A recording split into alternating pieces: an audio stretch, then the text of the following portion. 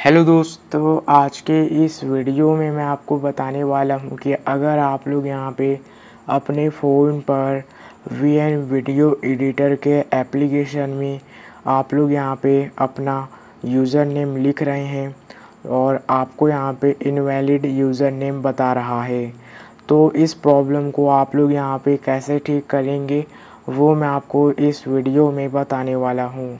तो चलिए वीडियो को स्टार्ट करते हैं, मैं आपको बताता हूँ।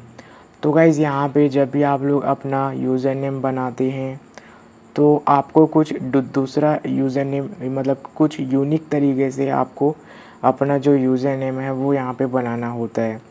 अगर जो भी यूज़र नेम आप बना रहे हैं, अगर उसी नाम से ऑलरेडी ही किसी दूसरे का यूज़र नेम बना हुआ है, तब आपको यहाँ पे इनवैलिड यूज़र नेम दिखाता है।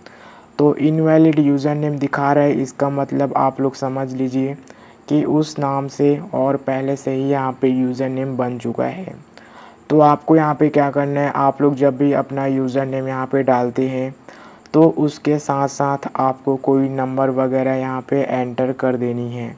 या तो फिर आप लोग कोई यूनिक जो कैरेक्टर है, वो आप लोग यूज़ कर सकते हैं लाइक डॉलर हो या एट द हो गया ये सारी चीज़ें आप लोग यहाँ पे यूज़ कर सकते हैं।